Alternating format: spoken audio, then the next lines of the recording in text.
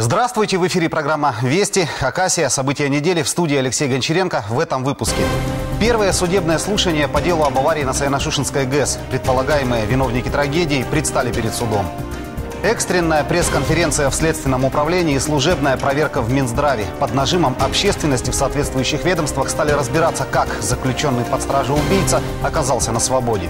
В Сибири им не было равных элитных скакунов, одержавших оглушительные победы в июле на самых крупных конноспортивных соревнованиях. Уничтожил пожар. Из 35 уцелели 16 рысаков. Личный автомобиль как водовозка. 400 литров воды в одном авто. Вероятно, рекорд, но, очевидно, не предел. Все потому, что нет водопровода. Ну а многим дачные гранты строить и жить помогают. Многим, но далеко не всем. Не только новые рейсы, но и новые маршруты из Абаканского аэропорта теперь можно будет летать и в Новосибирск, и даже за границу. Первый вылет сегодня в 13.40. Только народный гнев подстегнул к активным в расследовании действиям Управления Следственного комитета по Хакасии и Минздрав. Одни срочно дали пресс-конференцию и приступили к проверке, как заключенный под стражу белоярский убийца оказался на свободе. Другие начали служебную проверку с той же целью. За короткое время стихийные митинги в знак протеста качеством следствия в республике возникали дважды. Первый раз, когда у кинотеатра «Наутилус» толпа подростков избила двоих парней, один из которых впоследствии скончался. Те, кто избивал, даже не попали в разряд подозреваемых. У следствия якобы не было оснований их задерживать.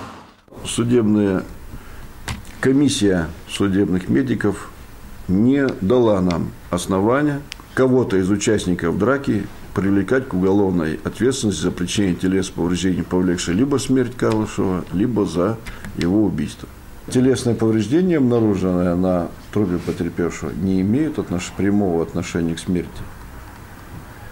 А какие тогда основания у меня, как у следователя, говорить о том, что вот не буду называть фамилии фигурантов, они его убили. Сейчас я пока не могу про это сказать.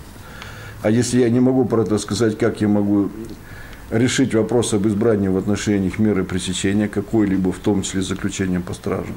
У пострадавшей стороны сложилось впечатление, что следственные действия должным образом и не проводились. Все как-то уж просто решилось. Медики дали заключение, следователи не усердствовали в установлении истинных причин. Но у родных и близких погибшего свои доказательства. Эти отморозки били его, топтали, голову всю изломали, грудная клетка сломана полностью. Все, что пишут в показаниях доктор, э, патологоанатом, это все неправда. Митинг собрал большое количество неравнодушных. И многого собравшиеся не требовали. Единственное – провести следствие как положено. А то правоохранительная система действует как-то избирательно. Уже нету сил терпеть беспредел наших э, правоохранительных органов. Понимаете, если раньше, я не знаю, это уже не первое убийство, которые, по которым не возбуждаются уголовные дела и которые хоронятся, скрываются всяческим образом. На этой неделе тело Артема Карлышева эксгумировали. Красноярские специалисты должны назвать истинные причины смерти. Как заявляют в Следственном комитете, участники драки в любом случае понесут наказание даже по факту избиения в самом центре города. Кинотеатр «Наутилус», по мнению главного следователя Хакасии, пользуется дурной славой, и это никого не беспокоит. В ту ночь э, в кинотеатре употреблялось спиртное. Да? Что там делал этот э, девятиклассник, почему всю ночь там, ну как, находился в этом кинотеатре, был пьян. Почему сегодня, несмотря на э, определенные ограничения в торговле спиртными напитками, почему там сегодня можно прийти и купить спиртное в любое время?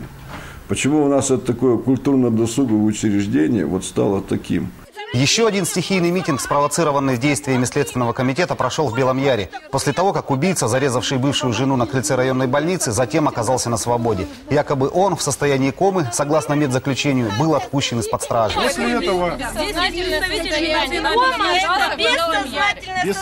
Мы все медики. Он не может сам самостоятельно передвигаться. Официальное медицинское заключение, согласно которому он находился в коме. После этого он пришел в себя, после этого, после того, как медзаключение было получено. В какой он коме?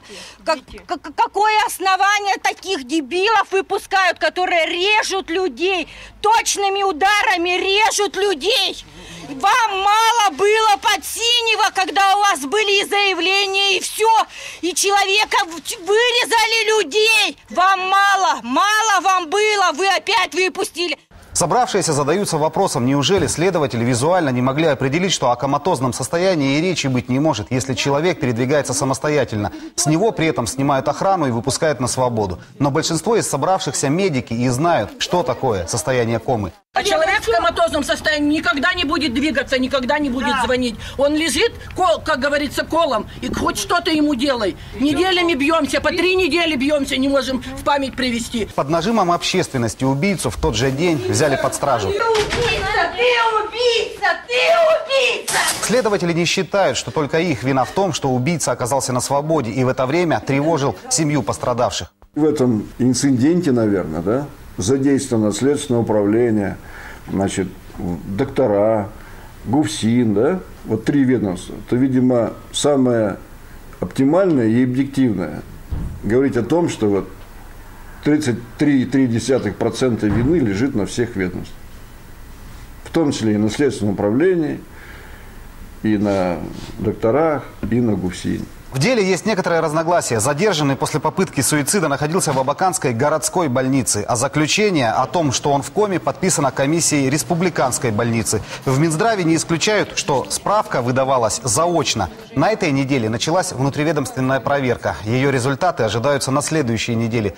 Пострадавшие говорят о том, что задержанный ранее служил в правоохранительных органах. Есть сведения и о том, что избивавшие парней возле Наутилуса тоже из так называемых блатных. Оттого и такой странный и резонансный подход к делу, когда людей убивают зверски, а звери остаются на свободе. На этой неделе во вторник шокирующие новости пришли из Черногорска, где произошло очередное зверское убийство. Глава семьи расправился с женой, ребенком и наложил руки на себя. Произошедшее напомнило события сентября прошлого года, когда в селе Подсинем отец семейства застрелил пятерых родных людей и застрелился сам. В последнее время довольно часто, когда происходят такие новости, приходится говорить очередной случай. Сегодня у нас в гостях психолог Сергей Акимов. Сергей Николаевич, здравствуйте. Вот э, первый же напрашивающийся вопрос, что происходит с людьми? Ну, я бы вообще не стал смешивать два этих случая, объединять их в какую-то систему, во-первых, да. А, а если говорить в общем о каких-то тенденциях, то, а, наверное, уровень агрессии в обществе, ну, может быть, вот немножечко повышается как-то. Связано это в первую очередь с чем? А, темп жизни изменился, изменились условия жизни, то есть в нашей жизни появилось гораздо больше стресса, в том числе информационный стресс, ну и так далее, и так далее. И это может вот э, каким-то образом влиять все-таки на психику людей. Ну, можно понять агрессию в отношении незнакомых людей, но почему поднимают руку на родных, близких? И ведь речь идет даже не о побоях, а об убийстве. А, вообще вот есть такое понятие респондентная агрессия. Она как раз и э, направлена бывает на тех, кто слабее, и тех, кто ближе к тебе. То есть не на начальника какого-то, не на э, представителя там даже власти, да, а вот на тех, кто здесь э, сразу подвернулся. Но вот этот конкретный случай, его надо рассматривать именно как конкретный случай. Во-первых, сейчас пока еще следствие идет, и, на мой взгляд, нельзя говорить, что вот стопроцентно это он сам сделал, да. То есть тут всякое может быть на самом деле. Есть же предположения какие-то, ну, высказывались вот на некоторых телеканалах, что кто-то там еще был.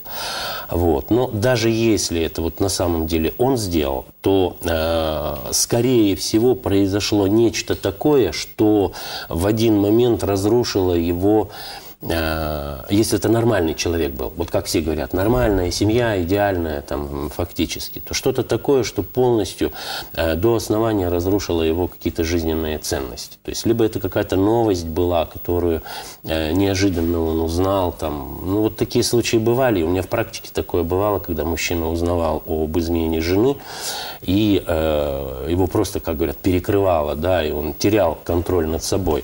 Это могло произойти либо вот в состоянии аффекта, либо в состоянии близком к аффекту. То есть вот что-то узнал он. Скорее всего, так, я предполагаю. Но что движет человеком, когда он лишает жизни родного ребенка? А он не может себя контролировать. То есть э, вот в этой ситуации просто-напросто, ну, как я предполагаю, еще раз говорю, это только могут быть предположения, произош... Э, возникло такое эмоционально-психическое состояние, при котором человек не может контролировать свои поступки.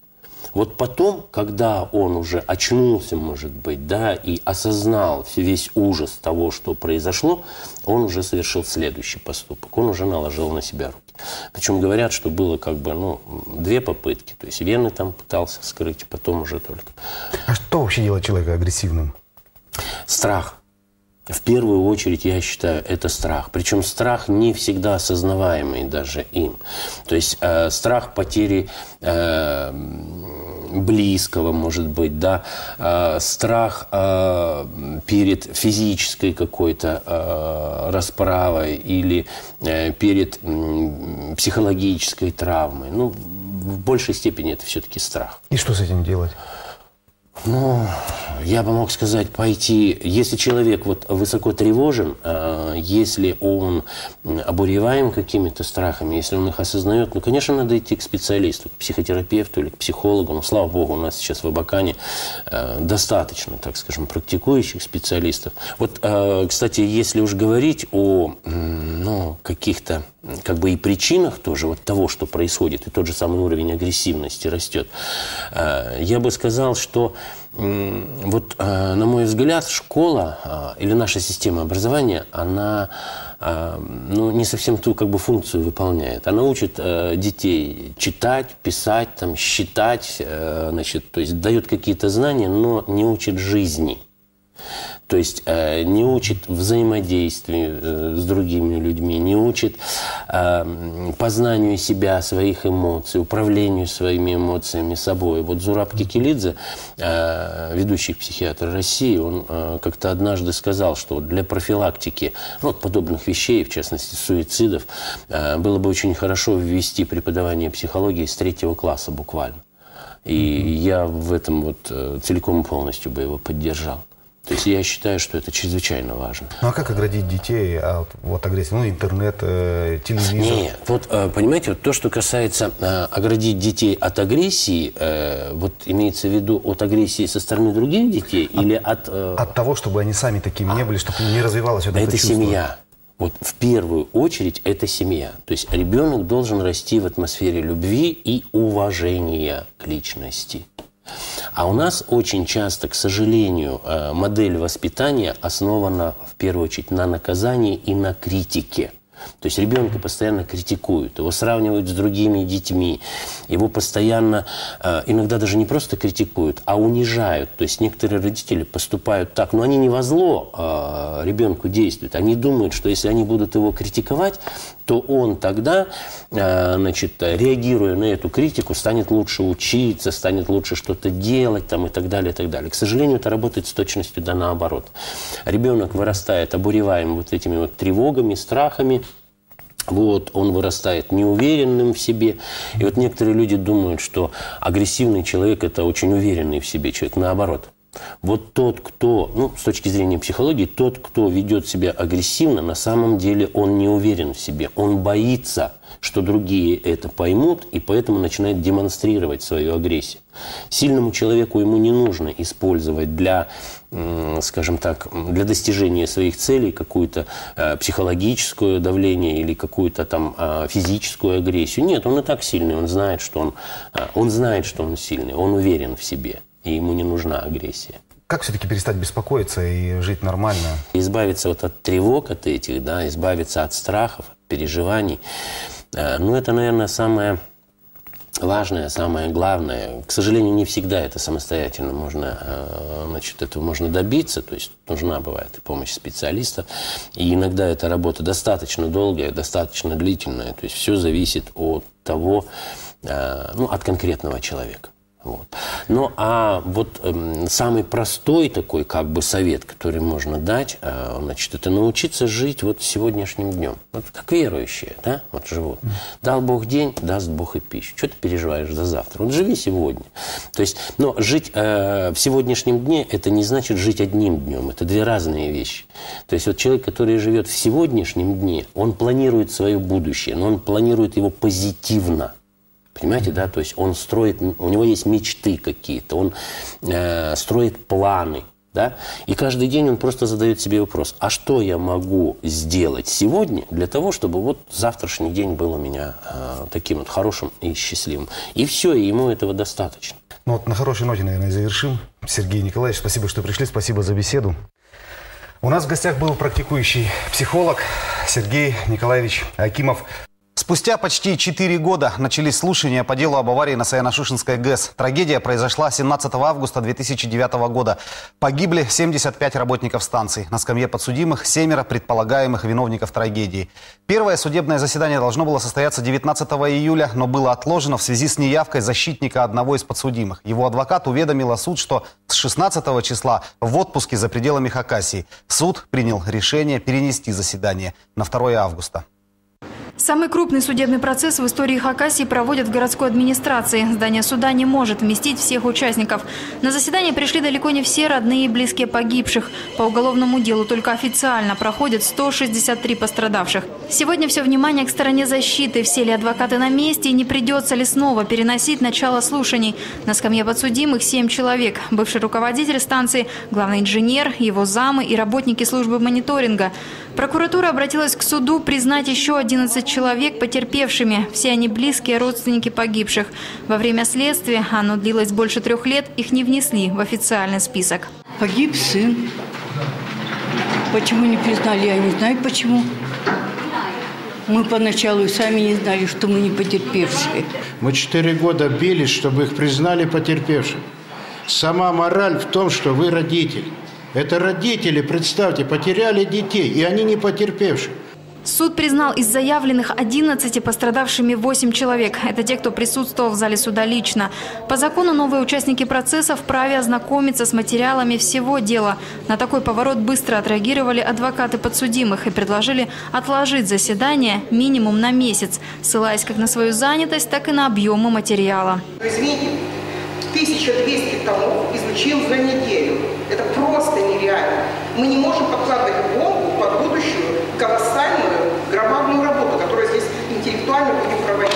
Сторона обвинения хоть и против растягивания процесса, но с требованием закона согласилась. Каждый потерпевший имеет право на знакомление как с материалами дела. Он должен знать, в чем обвиняются эти лица. Уголовное дело такого масштаба рискует превратиться в самое затянутое в России. Весной в Перми приговор вынесли по пожару в ночном клубе «Хромая лошадь». Он произошел в том же девятом году. Уже идут слушания по крушению теплохода «Булгария». Трагедия 2011 года.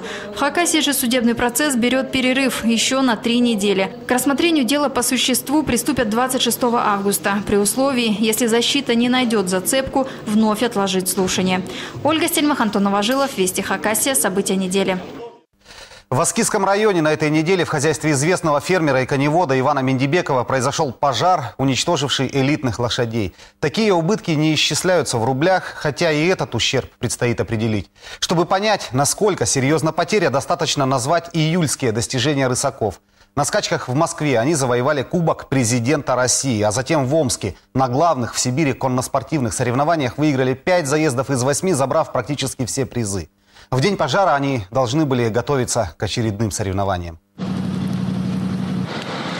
Гордость республики. Элитные скакуны погибли в огне за считанные минуты. К этому моменту дознаватели насчитали 19 обгорелых трупов. Из них только две лошади задохнулись. Остальные сгорели заживо. Пожар начался ранним утром. Вызов поступил в 6.54. Возгорание произошло моментально. Предварительно произошло с у данного угла, вот где мы сейчас находимся, и э, ориентировочно в конюшне находилось примерно от 30 до 40 лошадей. Дознаватели пока не могут сказать точную причину пожара. Одна из основных версий в конюшне замкнула проводка. Кто-то из рабочих говорил, что видел, как она искрила. Кто-то слышал хлопок. Относятся настороженно, но тоже не исключают силовики и криминальную версию. В пользу поджога говорит то, что огонь распространялся уж очень организованно. За минуты он охватил всю конюшню. Это 800 квадратных метров. Есть э, факты, э, свидетельствующие о том, что здесь э, поджога не было.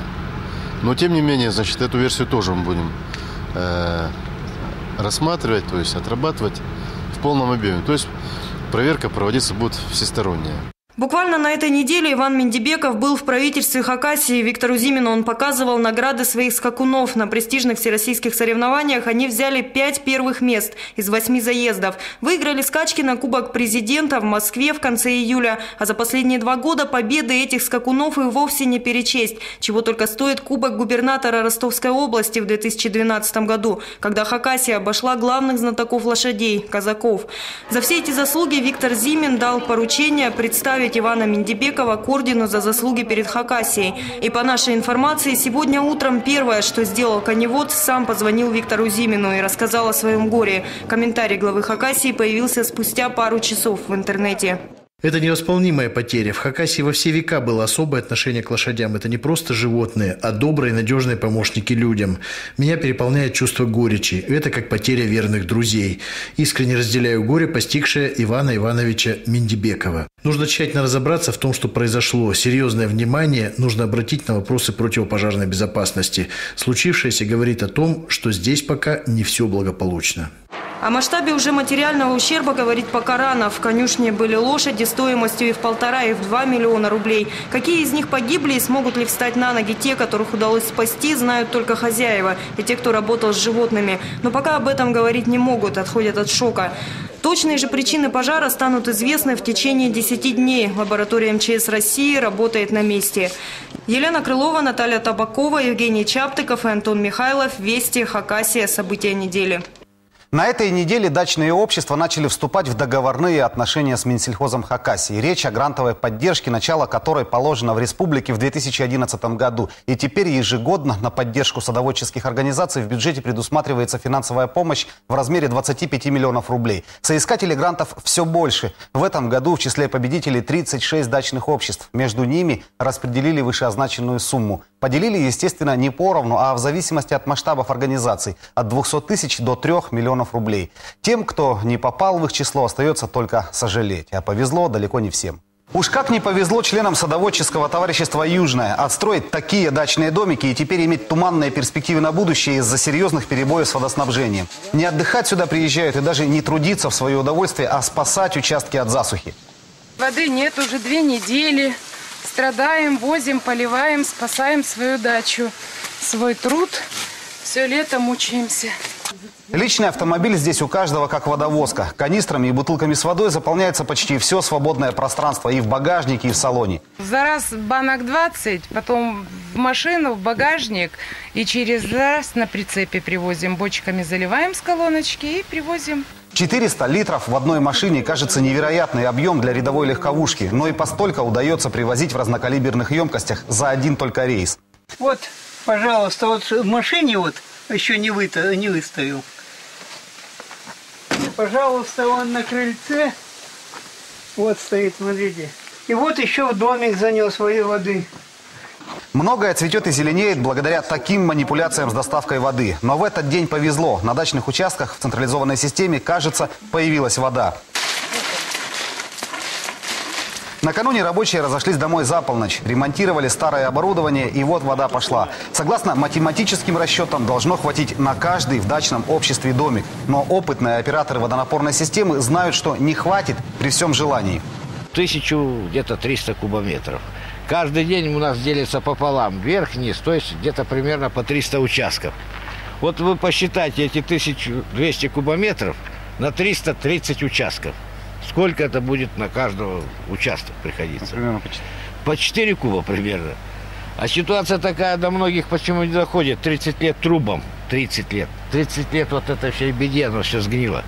В прошлом году общество «Южное» прославилось на всю республику, когда тогдашний председатель средства гранта свыше полутора миллионов рублей потратил на собственные нужды. Проще говоря, прокутил.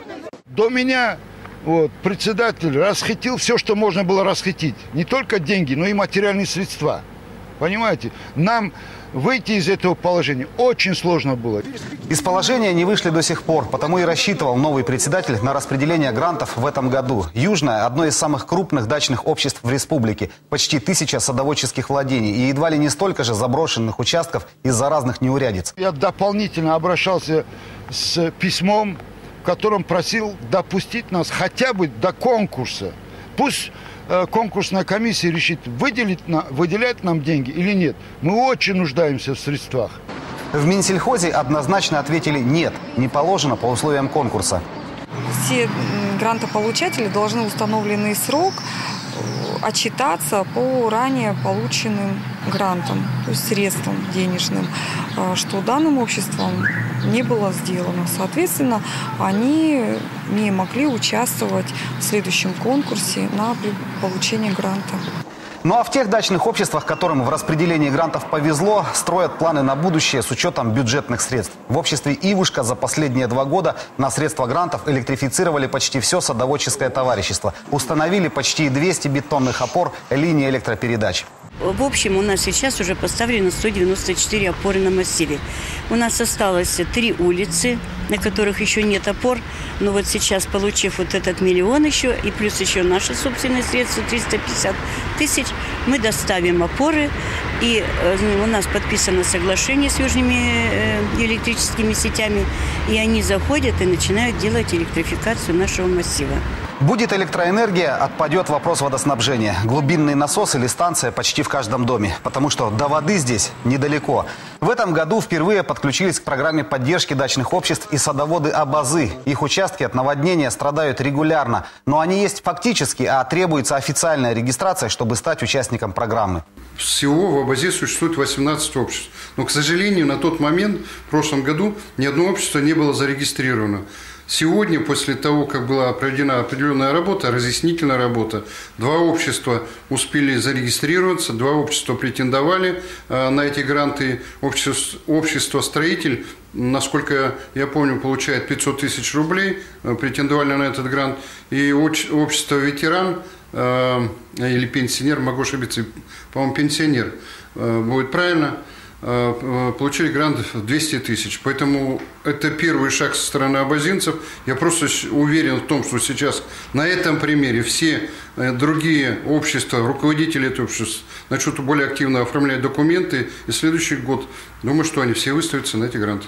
Согласно статистике, 90% от общего объема плодово-ягодных культур выращивают дачники. Овощей они производят 80%. Огромный сектор экономики. По сути, продовольственная безопасность, которую садоводы обеспечивают собственным трудом и членскими взносами. И вот в последние годы благодаря бюджетной поддержке. И все же местами уповая только на погоду.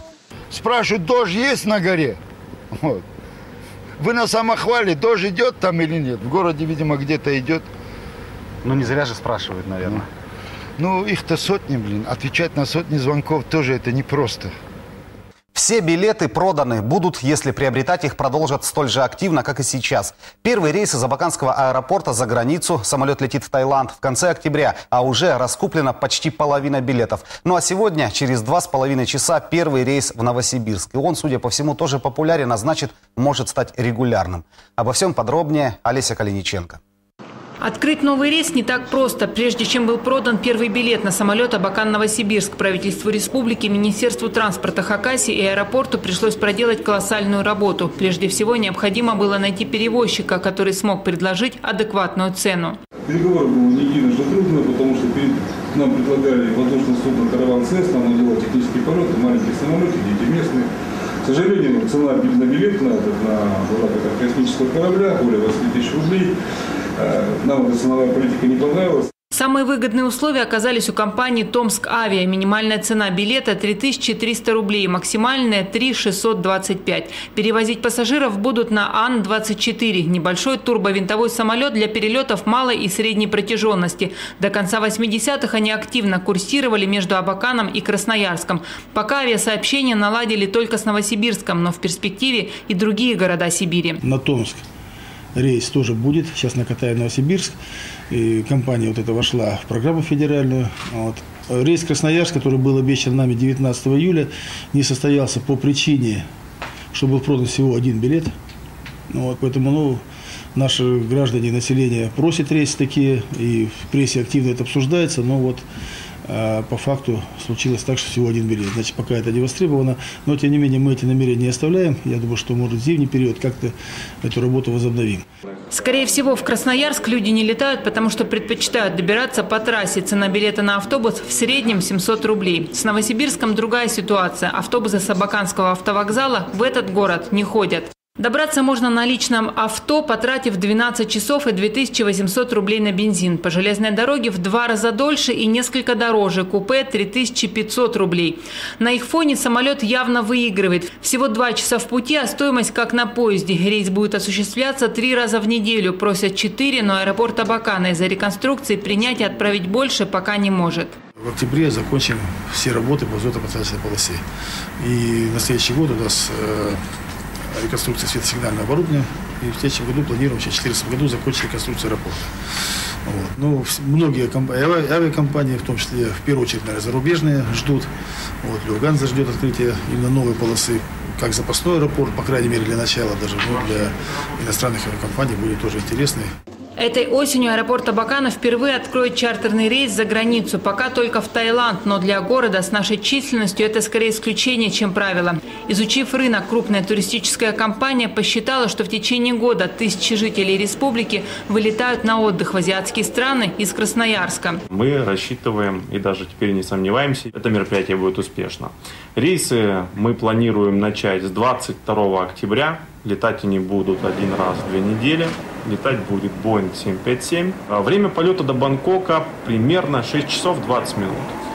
Ну, собственно, аэропорт прибытия – это центральный аэропорт Суварнабуми Бангкока. Вот именно туда мы и планируем летать. Динамика продаж, как я уже сказал, довольно хорошая, которую мы сейчас видим. Первый рейс продается, честно скажу, даже лучше, чем Красноярск. Если воздушное направление Бакан-Бангкок будет востребовано, туристическая компания наладит авиасообщение с другими государствами. В следующем году планирует начать летать в Турцию. Олеся Калиниченко, Антон Михайлов, Вести, Хакасия. События недели. Синоптики дают прогноз, что недостающее за прошедшие два летних месяца тепло природа компенсирует в августе. Начало месяца ожидается теплым, середина дождливой, с ливнями и грозами. В конце месяца опять тепло. И нельзя сказать, что запоздалое все-таки август, летний месяц. Напоминаю, наш адрес в интернете вести дефис Всего вам доброго.